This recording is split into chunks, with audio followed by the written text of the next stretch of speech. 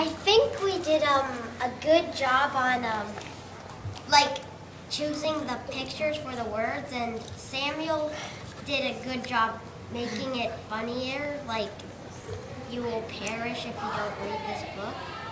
And I think we needed to work on um, his talking because it wasn't so clear. And yeah.